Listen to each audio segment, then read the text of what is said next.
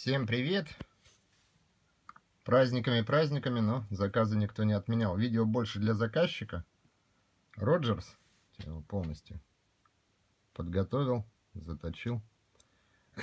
Сразу скажу, пины я поменял. Сейчас в дальнейшем поближе покажу, почему. Ну и, соответственно, всех, кто будет заказывать эти Роджерсы, хочу сразу предупредить, что пины придется менять. Во-первых, под оправой такое нечто похожее на микронаждачку. Во-вторых, слон, он не особо фиксируется. А подбивать вот эти вот вещи очень чревато. Они могут просто лопнуть.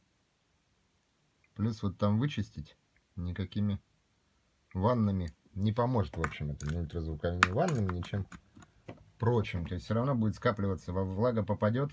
И вот эта микропористая такая структура, она там буквально микроны какие-то, но она очень крепко держится. Сталь великолепная, просто изумительная. Ну, отправлю уже завтра в таком футляре. Тоже стареньком. Сейчас смажу, упакую. Так что имейте в виду, кто будет заказывать Роджерса, если кого-то когда заинтересует, это видео с ними есть, не так там давно снимал. То есть буду менять пины и вычищать под оправой уже, соответственно, абразивно. Всем удачи, всем пока и успехов в новом году.